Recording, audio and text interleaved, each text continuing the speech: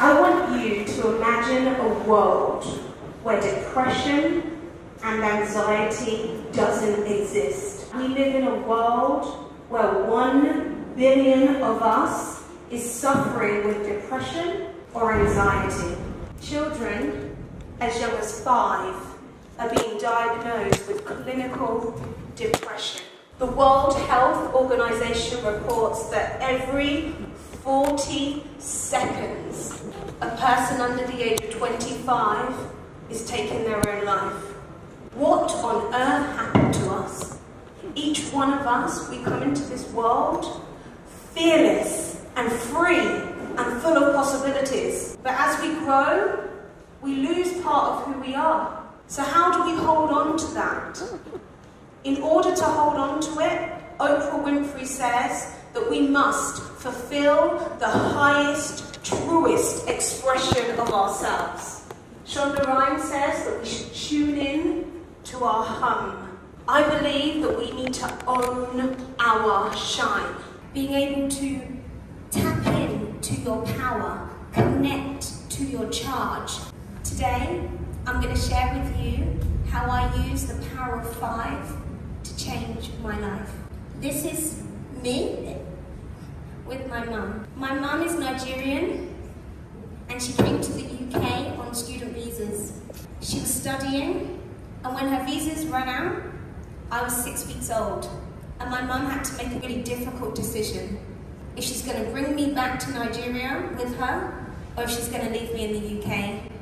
She made the decision that she was going to leave me in the UK so she sought out the best parents for me. They were working with Save the Children Foundation. They're called Laura and Michael. Laura and Michael, they're a family in England that raised me, loved me, cared for me, and supported me throughout my life. When I was young, I used to feel different. Not different because my foster parents are white, not different because my name is Ife, different because I saw the world really differently to my peers. My friends, they all loved parties and play dates and sleepovers, and I dreaded it. I used to be the last person to get the joke. I struggled, and I, I had the self-awareness to know that I was different. I felt disconnected. But then something happened when I was nine years old. I entered the dance studio. And there was a teacher there with blonde curly hair, bright eyes, and she said, come forward, dancers. And as I stepped forward, she said, I will show you the steps. Kneecap, kneecap, shoulder, shoulder. I thought, okay, I can get this. And she showed me the steps and the other dancers until we all got the steps. Boom, boom, boom, let me hear you say well. The music started and she went five, six, seven, eight. And this bolt of lightning hit me. And I felt alive. I was like, this is amazing. So I started going to dance class three times a week. I started going to competitions. Now, I wasn't very good to begin with. I was all over the place. Oh, I was not a natural dancer. I lacked spatial awareness and I wasn't very flexible. But the way it made me feel made me want to keep going. I thought I never want to lose this feeling. Said I want to become a professional dancer. So I asked my dance teacher, how do I become a professional dancer? She said there's lots of steps. The first step, you need to go to a top London dance college. So I applied for a top London dance college and I got in. The night before, I planned out all my clothes. I woke up really early, did my makeup, did my hair, got dressed, packed my bag. I was excited and I bought this jumper which goes over the shoulder that says Pineapple Dance. So I ran out of the door, got on the train, got out the station at Covent Garden. The sun was shining. And when I arrived, there were hundreds of dancers just like me. And I felt like this is where I'm supposed to be.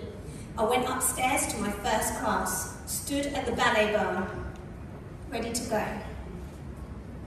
I was awful. I was the worst one there.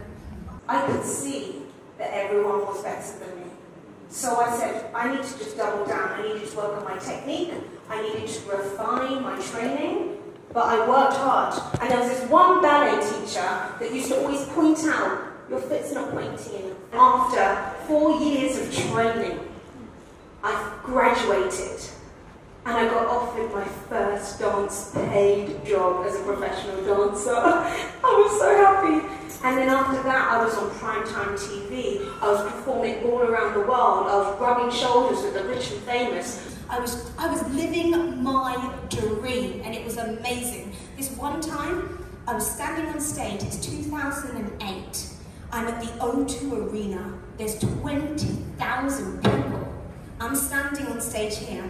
To the left of me is Brian May from the band Queen. To the right of me is Paul McCartney from the Beatles. Further along on the piano is Elton John. Standing here is Alexandra Burke, a British pop star. I am singing to this big audience, and I felt like this is exactly where I'm supposed to be. I got asked to go to an audition. If I was to get the job, I would be flying out to Argentina. Very excited. I auditioned, and then they said, everyone put your heels on now. It's time for some strong technique. The move was step, step, kick. As my leg hit here, my supporting leg gave way, and I fell to the floor and snapped my anterior cruciate ligament. It was over for me. I was in hospital. And this is when I started to fall into that dark place. The shine had gone. I'd lost it. I was laying in my hospital bed and I was sitting in the dark. And I was thinking to myself, there's no future for me. All I've ever known is dance. I was also around this time given the information that I have something called ASD. ASD stands for Autistic Spectrum Disorder. I'm autistic. Autism is a neural development disorder that's characterized by significant difficulties in social communication, non-verbal communication. Makes sense why I struggled so much. But I had dancing. But now I don't have dancing and I have this so as I sat there, I said to myself, what am I going to do? And then I remembered I was pretty good at sales. So while I was sitting in the dark, I had this vision of my life. I thought, I want to live a great life. I want to be financially free. I want to be able to have joy. I want to wake up every day excited like I did when I was dancing. Maybe sales might work for me. Because when I was doing sales, I did it to support me while I was dancing. And I remember this one company, he came up to me, the director, and said, You're really good at sales. I said, Am I? He said, Yeah. He goes, You're not afraid of the word no. And I said, Yeah. Because as a dancer, you go to 10 auditions and you get nine no's and one yes. So I was used to performing and being told no. So it wasn't hard for me, so I thought, Maybe I could do sales, but then once again, I needed someone to show me what to do because I don't know how to run a business. So I googled sales expert and I came up with Brian Tracy. Now Brian Tracy has a book called The Psychology of Selling and he talks about why are some people more successful than others. And he says successful people think differently. So then I started to read his books and many other books, and I started to break down what does it take to become successful. So I decided I'm going to follow the steps to build a sales company. And in 18 months after working really hard, I looked up and thought, wow, I have six members of staff, I have two shareholders, and I have loads of clients. People said, how did you do that? I said, I just followed the steps. I heard a quote that Steve Jobs says. He says, if you wake up too many days in a row and don't like what you're about to do, something's got to change. So there was me with my business, people thinking I'm successful, but I'm still waking up not excited about what I'm about to do. So I had to go and sit back in the dark. I had to sit and go, what do I like about this? I like my clients. So I went to visit many of my clients and I said, tell me, what are your biggest challenges? What are your biggest constraints? And they said, it's our staff, it's the people that work for us. They are lacking skills and knowledge and motivation. We're trying to help our business grow, but we're getting stuck. So I said to them, so if we can look at your fixed cost, the people, and we can empower them and support them, we'll be able to drive the revenues up and we'll be able to drive the costs down. I said, yeah. I said, I'll put something together. So I put together a 12-step program and went and delivered it to all of my clients. And they came back to me and said, wow, this is working. People are coming to work motivated and excited. They feel like they've got structure and goals brilliant. So I said, I'm going to put this into a book. So I got very excited and I wrote my book, Power Lift Your Career, which is a 12-step guide. And I put everything down, step by step. Something extraordinary happened. See, when I was laying in that hospital bed, I had accepted that I was never going to end up back on a stage. But the people who were reading my book happened to work for companies. So I started to get asked to go and speak to companies. FTSE 100 companies and to talk about my book. And then I got asked to go back to my old dance college. It had been 15 years since I graduated, and they asked me to go back.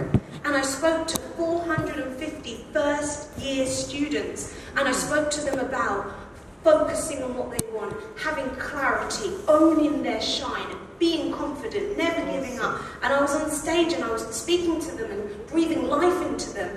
And I stepped away and thought, I'm back on the stage. I'm not dancing, but I'm back on the stage. it felt amazing. I was charged, I was connected, and I was passing on. And I'm a mother of two. These are my boys. Quincy, the big one, and Cuba, the little one. And the same thing that I said to those young students is what I say to my children every single day. Introduce them to their shine. I wanted them to recognize that there is a power within them. They have to stay connected with it because it's so easy to lose it.